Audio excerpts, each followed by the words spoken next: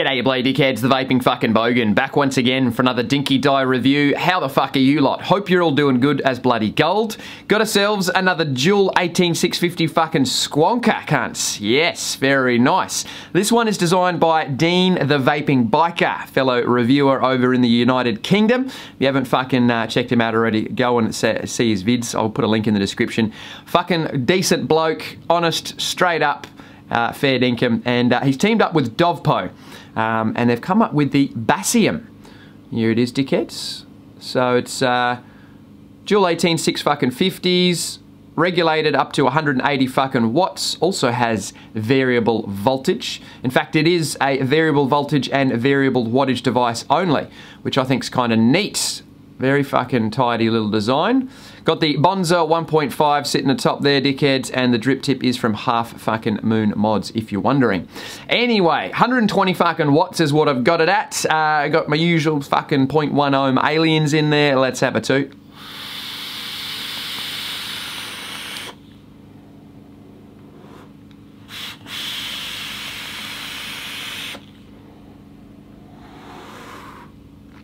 Very nice, very nice. Dean has done some really fucking good things with this one. Put in variable voltage, which is something I enjoy, and a uh, an awesome squonk removal uh, bottle that uh, you can fit basically, you know, all sorts of other bottles in here. So you're not limited by a proprietary bottle, which is fucking nice. We'll go through all of that in a bit, dickheads. Quickly, we're going to mention vape advocacy. Yes, again, again, dickheads. Please go and do your part. Okay, there are corporations, governments, and big fucking tobacco wankers trying to ruin this industry in all sorts of places around the world, particularly in the United States with the FDA at the moment, flavor bans, all sorts of shit. Go down to the information in the description and uh, join those calls to action and write your representatives and tell them if they don't fucking support vaping.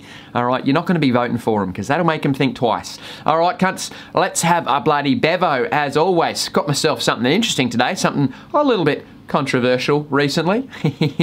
it's uh, Punk in Drublic. Don't call me white. Don't call me white. It's a, uh, a hoppy lager that is a collaboration between Stone Brewery, one of my favourite US brewers, and uh, NOFX, one of my favourite fucking punk bands. Um, so yeah, it was produced for the Punk in Drublic Music Festival that's uh, meant to be sort of touring around the States around about now. Um, but yeah, NOFX kind of fucked up. Uh, you know, they're, they're known for their banter and their controversial sort of jokes and, uh, you know, whatever at punk shows. It's punk rock. That's what they fucking do. They, they say shit and sometimes it might be offensive. Um, this time they kind of went a little bit too fucking far. Yeah, I won't go into the fucking long story, but yeah, they made a joke about the whole Vegas shooting while they were playing a gig in Vegas. Go and look it up if you want to know. Yeah, not real fucking good. And Stone have dropped the fucking line completely, so you won't be able to get these beers anymore. But uh, anyway, dickheads, you might be able to still uh, track some down while they've still got them in stock in the US. I managed to pick up a, a, carton here in Australia, and they're pretty fucking decent. Hoppy lager. Let's fucking get into it. It's 5.8%. Uh, On the back, it reads, uh, this beer was a brew... Uh, this this beer was brewed as a collaboration between Stone Brewing and Fat Mike, who just showed up and mostly just got in the way. Yeah, that sounds about fucking right. Anyway. Don't call me white.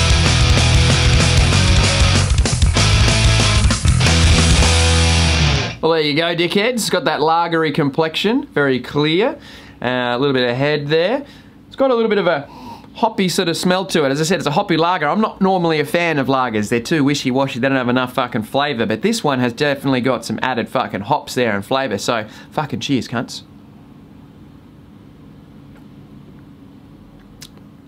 Yeah, fuck yeah.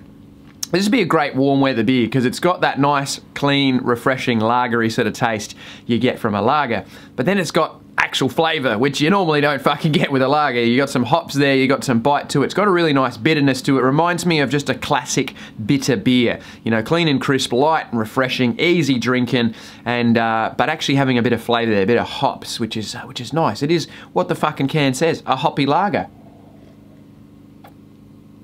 Decent. Very decent dickheads. We'll pair it up with the juice as always. Uh, in the squonk bottle at the moment I have some pucker juice, the black currant flavour. I featured this a few times already. Picked it up when I was over in Birmingham at the expo. It's my last, last little bit. There's about fucking 10 mils, 5 mils left in there. Uh, it's a delicious fucking black currant flavour with a hint of fucking lime. Quick little mention as well uh, on these little uh, squonk accessories that Wotofo have produced. Basically, to screw it onto any of your sort of chubby gorilla style juice bottles, and then you've got a fucking squonk connection there, so you can refill your squonk mods without having to fill up, you know, these these squonk bottles with the silicon. You got a decanter and refill and all the rest of it. I like this. Fucking 60 mils, just screw the cap on, Bob's your fucking uncle, away you bloody go. So uh, yeah, Wotofo did that. A few other companies have done them as well, but thought I'd fucking mention it, cunts. It's definitely worth picking up. A handy little accessory if you're into your squonk mods. Anyway, I fucking digress. Let's see how this black currant goes with a bit of a hoppy lager. That's going quite nicely, actually. The um, the black currant candiness going quite nicely with the um, the hop flavours there, and the lime. That's a, that's a nice little touch too. Mmm. That's actually not a bad pairing. Nice, light, fruity, refreshing juice with a bit of a fucking refreshing hoppy beer. Anyway, wankers, let's fucking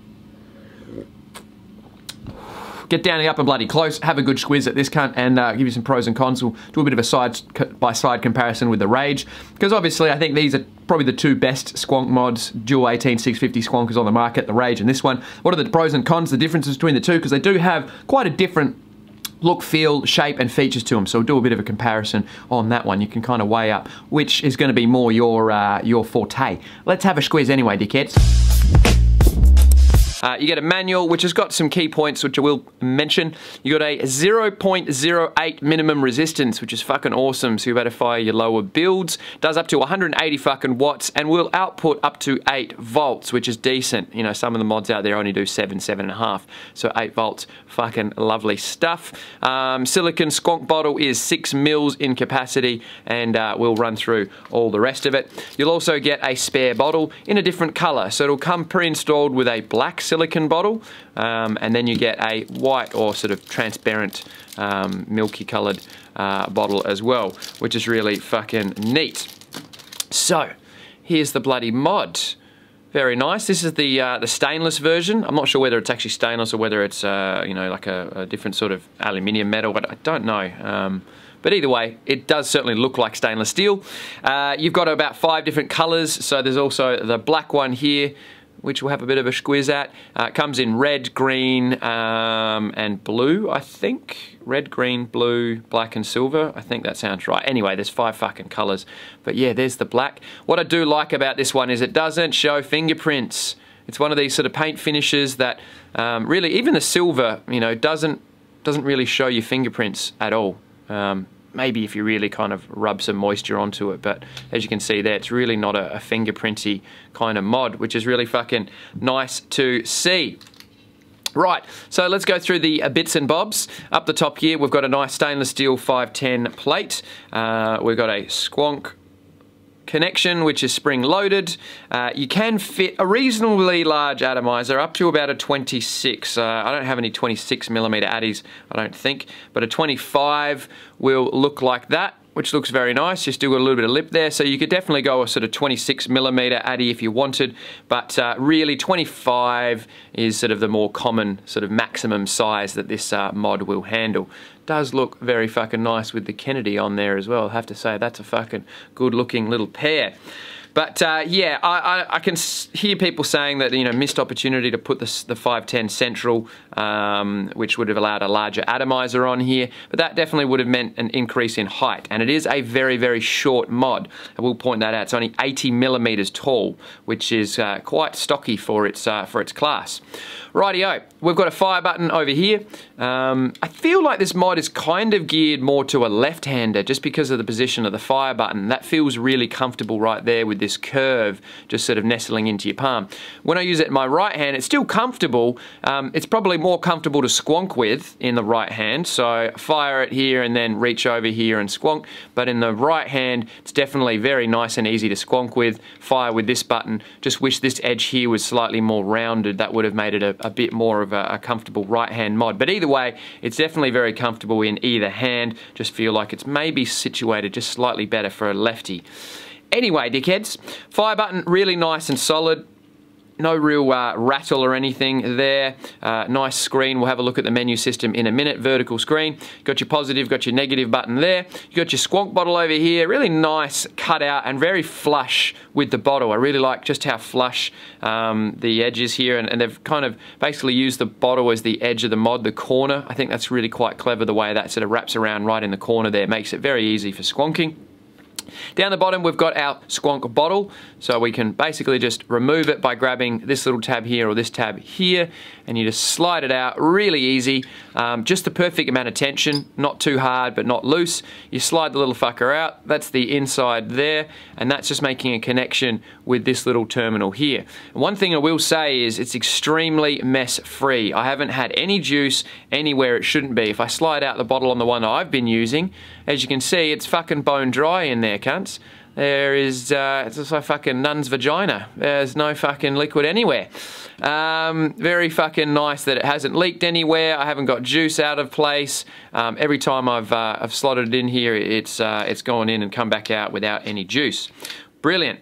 What is uh, fantastic also about this bottle design is you can use your own squonk bottles. You're not limited to a proprietary bottle. They've basically got this little tray here which uh, your bottle sits in. Um, and you can go and swap out, you know, different bottles. You know, if you wanted to put in a, a, plastic bottle, if you prefer that, you could always do that. You've got these SMJY bottles. That's going to fit in there just perfectly if you like those SM, uh, SJMY bottles, should I say, SJMY. Um, so there's, there's going to be many, many bottles that'll fit in here. Obviously, you do need to have the sort of appropriate diameter. You won't be able to go wider than what we've got here, um, and obviously a height restriction, but there are, yeah, I can think of at least half a dozen bottles that will fit in here, which is, uh, which is fucking great. Silicon, nice and squishy. I love the fact you've got a black one and a white one. That one, every, that way everybody's happy. Um, simple system, you just unscrew and fill it up like that. And you can leave this still attached to your tray thing here.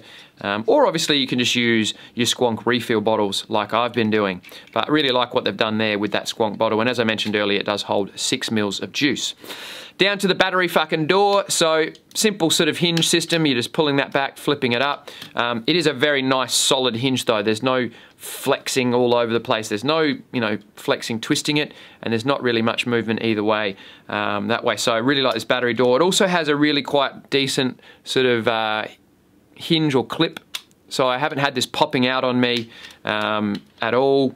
I haven't had the door fly open in my pocket or set the mod down and it pop open. Beautiful tensions there, like the fucking tolerances. Looks like you got a little bit of a vent hole over here. Um, and you know, it takes your single 18 6 fucking 50s. You've got uh, B and A marked here, positive and negative. So you're just gonna grab your batteries. I've got a couple of uh, Pickle Ricks here. They're Sony VTC 5As and they've got an ODB, Old Dirty Bastard wrap on them. They're just gonna fucking slot in like so. And um, yeah, once they're in there, no rattle at all. Very, very solid. Really like that. Very fucking decent. Right, before we jump into the menu system, we'll do a quick comparison up against the Rage. Um, because size-wise, they are, you know, obviously um, kind of... Uh, similar in total mass, but quite different in their um, in their shape. As you can see here, you've got this sort of uh, very curvy, um, you know, new style, and then you've got the more classic box mod over here. Now, the Ownboy is actually quite a bit wider, as you can see if I line up the edges here. You've got an extra probably centimetre um, or thereabouts in, um, in sort of total width from one side to the other.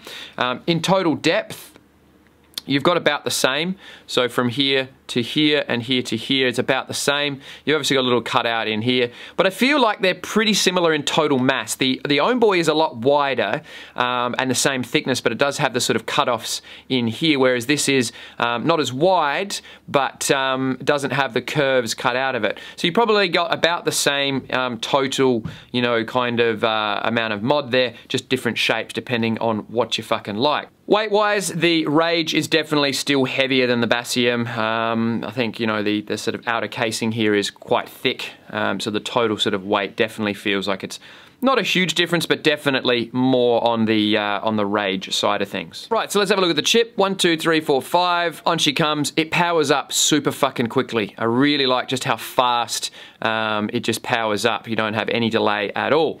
Pretty simple, um, but uh, sort of, I don't know, somewhat old school kind of uh, screen fucking layout. We've got the mode that we're in, which is in variable wattage at the moment.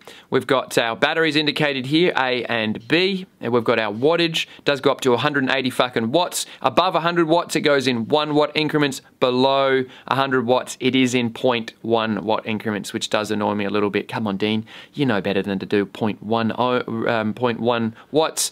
You've got the amperage being displayed underneath that. You've got the applied voltage right here, which is going to obviously change depending on the resistance and the um, the wattage you've dialed in. And you've got your resistance or your ohms down at the fucking bottom there. Very, very nice screen. Very bold, bright, good brightness to it. I haven't had to adjust my fucking lights for the camera. Nice and fucking easy to see. Now to change your modes, you've only got two modes in this one. You've got variable wattage and you've got variable voltage. So to switch over to variable voltage, we're going to hit the fire button and the negative button and we're over to variable voltage. You can obviously dial in your volts there in 0.1 volts all the way up to 8 volts, which is fucking very, very nice. And if we hold the negative and the positive button together for a few seconds, we can lock the device so you can still fire it, but you can no longer adjust the wattage up and down. And there's no need for a lock fire button mode because you just turn it off. Five clicks, off she goes. And then one, two, three, four, five, it's back on again. There's no delay. So there's no need for a lock the fire button because it starts up so quickly. So when you don't want to fire it, you just turn it off. Very fucking simple. So dickheads, I think that's about all for the Basium. Let's jump back up top. Let's go through some fucking pros, cons, and prices. So there you bloody go, dickheads. A bit of a squiz at the Basium. And as you can see, there are so many fucking things to like about this setup. Uh, I, I, there's, yeah, so many little pros that this thing has that uh, other mods don't have, or the way that fucking Dean has, has designed it. I think it's just fucking tops. I think he's done a really fucking good job. But let's get into the bloody pros and cons. There's plenty of things I like. There's only a few things that I dislike, but we're going to go through them. I'm going to fucking mention them. Uh, so let's uh, let's start with the fucking pros. Uh, I love the, the, the the chip. This chip is fucking really really nice and simple. I like that how Dean hasn't gone for fucking gimmicks and temp control, and he hasn't filled it with all the sort of bells and whistles that anybody might need. You know, he's gone with something that is a workhorse. It's an everyday mod. It's simple and it's effective. You know, the variable voltage and variable wattage option. No temp control in there. Some people obviously like the temp control. Gonna have a fucking cry about that, but not everything has to be temp control. And uh, you know, it keeps things simpler. I think the battery life has been really, really good on this. Maybe because it doesn't have all the fucking other crap going on with the chip that others do. I don't know, I'm just speculating, but I feel like the battery life has been very, very fucking decent. Maybe the chip has something to do with that. But I also love just how well the chip performs. Extremely quick to fire up. Very, very fast. There's no fucking delay. You hit that fire button and you've got fucking vapor.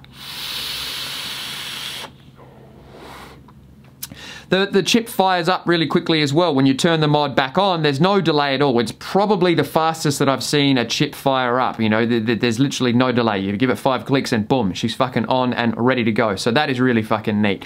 I love the fact that there's no USB port in here so that people can't fuck up their mods and their batteries via charging them, you know, using a USB.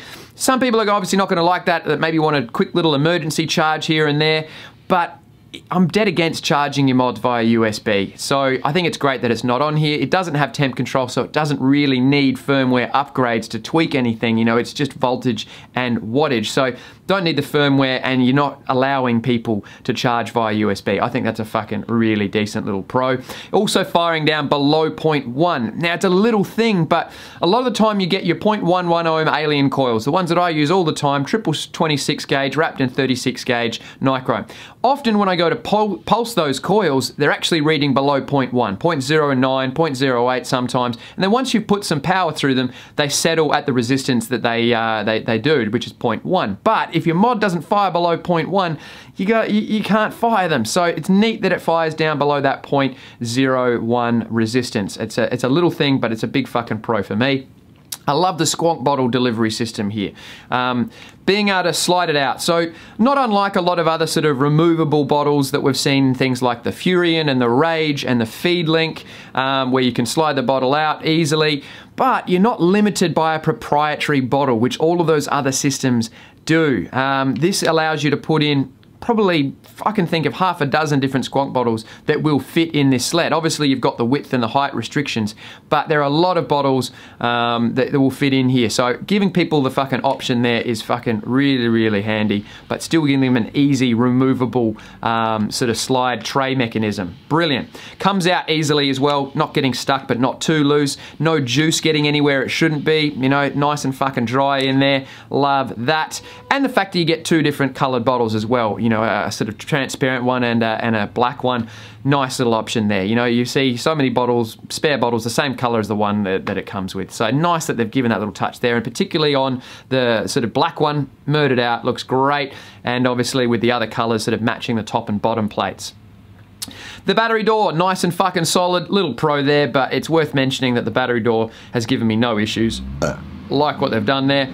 Um, the buttons, again, very good quality, and overall the build quality is fucking top notch. You know, the paint job hasn't scratched or, or, um, or come off, but it's also not fingerprinty as well, so it's got a really nice feel to it, no fingerprints, and uh, no chipping or scratching or any of that kind of crap. The buttons feel solid and, and clicky, no button rattle, which I'm, I'm a fan of as well. Um, yeah, fucking really, really nicely uh, done in terms of the build quality. Uh, what else did I fucking, what have I been enjoying about this thing? Well, I turned it off. There we go.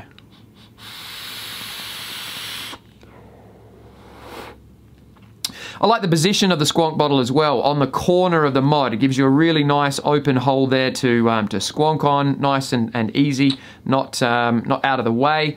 Uh, and I like the shape of it. I like the feel. You know, it's a it's a square, it's a box mod kind of uh, shape. It's more of a classic, but I like it. Not only is it stable, you know, as well as as comfortable, um, but uh, yeah, I think it looks good. You know, it's definitely a bit of a fridge. You know, some people aren't going to like that. Not to everybody's taste, but uh, I'm a fan. So let's talk about some of the cons. Um, nothing here that's a deal breaker, nothing that, that I think you know drastically needs to be changed, but a few things worth mentioning that might be uh, not to, to um, everyone's fucking taste.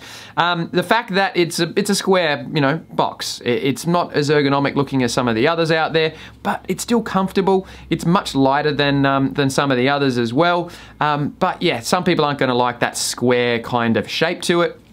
I've also noticed that it feels like it's a bit more tailored towards a lefty, as I mentioned before. Um, I would have liked to have seen it kind of flip so that the button was on this side and the curve was on this side here. Then I would have, yeah, I don't know, or maybe another curved side to it. Um, it just feels like it's sort of more comfortable in the left hand for me.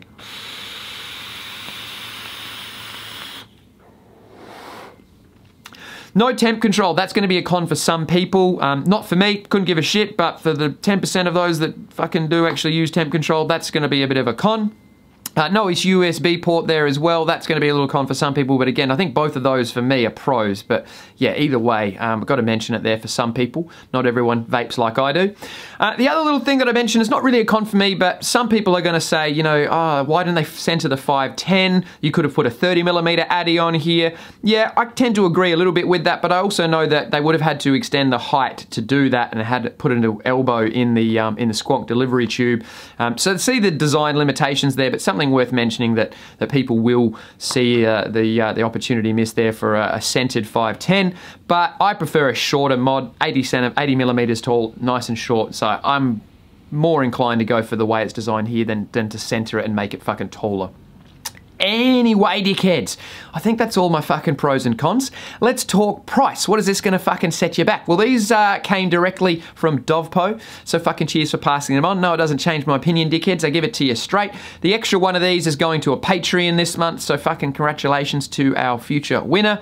Um, they're not really for sale as yet. I've done a bit of Google fucking searching and couldn't really find anywhere that had a price listed. They're listed on uh, a UK website, but no no price. They're listed on uh, a Lego mall, I think, in China, but again, no price.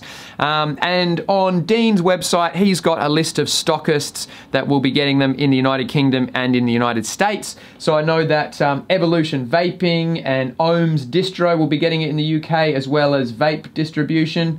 Uh, oh no, Evolution Vaping and Vape Industries. There you go. That's the two retail outlets in the UK. US, you're looking at uh, 8 Vape and My Freedom Smokes. They're going to have it. Um, and Australia is to be confirmed, but I do think, or I, I did uh, did hear from Vaporize that they will be distributing and stocking this one, um, so they'll be getting them very soon. Price-wise, dickheads, I don't know exactly what it's going to be, but I'm expecting it probably to be somewhere around about that kind of 50, 60 US dollars, um, probably the sort of 50 pounds in the United Kingdom, and probably somewhere around about a sort of $80 mod here in Australia. So it's going to be very well priced. You know, Dovpo don't usually have ridiculously priced shit, um, and I know Dean wants to make this a, a, workhorse and everyday vape for people, so I'm sure it's going to be probably, uh, as I said, around that sort of 50 US price, which I think is pretty decent. But I'm just speculating dickheads. I don't know for fucking sure. Um, you know, you need to wait a week or two. Uh, it says on uh, Dean's website that the release date is the 6th of July. So uh, a few days from uh, when you see this video, you'll probably see him popping up in retail outlets. So uh, use your fucking Google foo skills and, uh, and hunt one down. But I think, um, you know, it's a damn good fucking mod for what I expect to be a pretty reasonable price. So, dickheads, how does it fucking compare to things like the Rage, which I think is probably its closest competitor? You know, the stuff from Geek Vape and the stuff from Kanga is pretty shit compared to this one and the Rage. So I think really it's going to be this or the Rage for a lot of people. And I think they're quite different and quite uniquely situated in the market. The, the looks of them, the sort of ergonomic shape to the Rage is quite different to the boxy finish here. The fact that this does 180 watts and the Rage only does like 155, I think it was, probably not going to be a big point of contention for a lot of people, but for those that maybe want a bit more than 150 watts, you know, you can go this option with the, uh, the Uh, the fact that it does variable voltage and variable wattage and no temp control, whereas the Rage does those options. It is a bit lighter than the Rage. Uh, I'd have to say that the overall weight is just a, a little bit less. Um, you know, the Squonk bottle delivery system is definitely, I think, uh, a different and, in my opinion, a preferred system to the Rage. Um, the fact that I don't use my own bottles.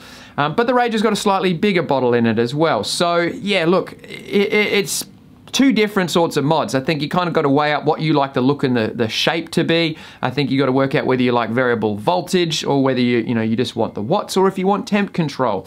Um, you know, those sorts of things.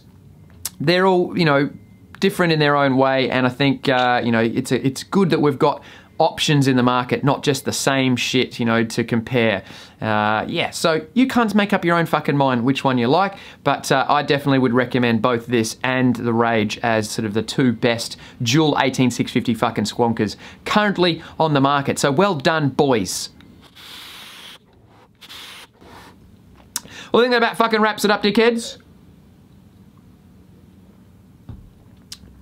I'll put my usual links to uh, my Facebook and Instagram down in the description if you want to check out what I'm doing outside of the YouTubes. If you want to support the channel, please fucking do hit the like, hit the subscribe button. But I do run an independent channel, which means I don't accept funding, sponsorships. There's no affiliate links here. There's no paid reviews. I want to keep it unbiased and ridgy for you fuckers. But to keep doing that, bit of public support is always loved. So I've got a Patreon page where I do prizes, giveaways, and content that you won't fucking see here on YouTube. And all of that keeps me doing my fucking thing. But if you can't, that's all good. Just sit back, sub home your fucking dicks off or your tits off but above all, stay off the bloody stinkies. I don't care what it is you're fucking vaping on, whether it's a squonk mod, a regulated mod, a mech mod. As long as you're not fucking banging the bungers, that is all we fucking care about. Cheers for tuning in, and cheery fucking oh. Well done, Dean. Have it fucking large.